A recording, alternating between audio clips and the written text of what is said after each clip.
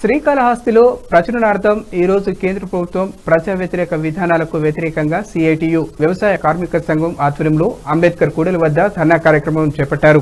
ఈ కార్యక్రమంలో CITU division కార్యదర్శి ఈపీ గురువయ్య మాట్లాడుతూ కేంద్ర ప్రభుత్వం కరోనా సాగుతూ ప్రభుత్వ రంగ స్థలం అన్నింటినీ తెగనమ్ముతూ ప్రజలను బిచ్చగాళ్ళుగా దేశాన్ని కార్పొరేట్ దోపిడీదారులకు పంచిపెడుతూ ఉందని అన్నారు. కరోనా లాక్డౌన్ కాలంలో అన్ని వర్గాల ప్రజలు అన్ని రంగాలు కోలుకోని స్థితికి చేరాయని దేశ జీడిపి ఎప్పుడూ లేని విధంగా తిరోగమనం పట్టిందని అన్నారు. ఈ లోటును భర్తీ చేయాల్సిన కేంద్ర ప్రభుత్వం పేరుకు ఇరవై లక్షల కోట్ల రూపాయలు కేటాయించామని చెబుతూ ఎక్కడ ఖర్చు పెట్టారని తెలియని పరిస్థితి ఉందన్నారు. ప్రస్తుతం నిర్మాణ రంగం ఆటో బిల్డింగ్ వ్యవసాయ కూలీలు రైతులు పాడి పరిశ్రమ హమాలి కార్మికులు ప్రైవేటు ఉద్యోగులు వీధిన పడ్డారని వారు ఆరోపించారు.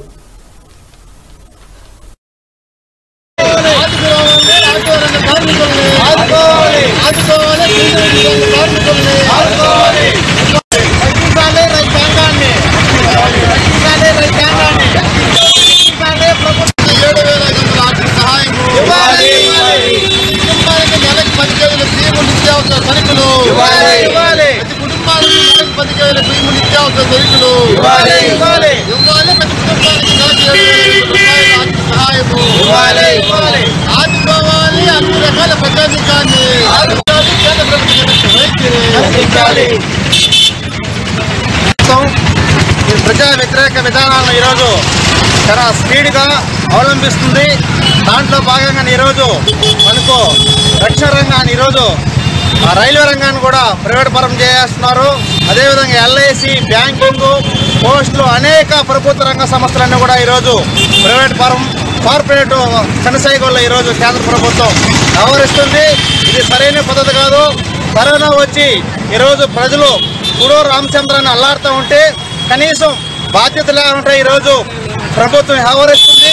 ప్రైవేట్ వాళ్ళకి అప్పచెప్పేదనుకున్నంత బాధ్యతగా ఈరోజు కరోనా వచ్చినటువంటి పట్ల కానీ ప్రజల పట్ల కానీ ఈరోజు బాధ్యత లేకుండా వ్యవహరిస్తూ ఉంది. చేస్తే దేశభక్తి అని చెప్పి మాట్లాడతారు తప్ప దేశభక్తి అంటే ప్రజల సొత్తును ప్రైవేట్ వాళ్ళకి అమ్మడమేనా దేశభక్తి అని చెప్పేసి నేను బీజేపీని అడుగుతున్నాను. దీనికి కరెక్ట్గా సమాధానం చెప్పాలని చెప్పేసి నేను డిమాండ్ చేస్తున్నాను మిత్రులారా. ఈరోజు ప్రభుత్వం అన్ని విధాల ఆదాయం వచ్చేది వ్యవసాయ రంగం. వ్యవసాయ రంగంలో మూడు పాయింట్ నాలుగు పర్సెంట్ ఈరోజు జీడిపి ఉంది. భారతదేశంలో జీడిపి చూసుకుంటే పత్రానికి పడిపోయినా ఈరోజు అంతా కాస్త ఉందంటే అది వ్యవసాయ రంగంలోనే. కానీ ఈరోజు వ్యవసాయానికి సరైన గిట్టుబాటు లేదు. డెబ్బై ఐదు కేజీలు వడ్లు అమ్మితే ఈరోజు ఎనిమిది వందలు ఏడు వందల యాభై రూపాయలు అమ్ముతున్నారు. కనీసం కేజీ పది రూపాయలు కూడా ఈరోజు వడ్లుకునే పరిస్థితి లేదు. అదే మార్కెట్లో బియ్యాన్ని ముప్పై యాభై రూపాయలు సొమ్ము చేసుకుంటున్నా ఈరోజు ఈ రాష్ట్ర ప్రభుత్వం కానీ కేంద్ర ప్రభుత్వం కానీ పనిచేసుకునే పరిస్థితి లేదు. ఈరోజు ఇసుక లేక అనేక పనులు లేక భవన నిర్మాణ కార్మికులు ఈరోజు అల్లా రామచంద్ర అల్లాడుతున్నారు అదేవిధంగా ఆటో కార్మికులకి ఈరోజు ఇబ్బంది పడుతూ ఉన్నారు. అదేవిధంగా పండ్ల వ్యాపారస్తులు ఈరోజు అది ఇబ్బంది పడుతున్నారు. ప్రతి కార్మికుడు ప్రతి ప్రజలు ఈరోజు తీవ్రమైన ఆర్థిక ఇబ్బందులు ఎదుర్కొంటూ ఉంటే ఈ సమస్యని పట్టి పట్టినట్టు వ్యవహరిస్తూ డిమాండ్లన్నీ కూడా తక్షణమే పరిష్కరించి కరోనాని పూర్తిగా రాష్ట్ర ప్రభుత్వం కేంద్ర ప్రభుత్వం భరించి ప్రజలకి నిత్యావసర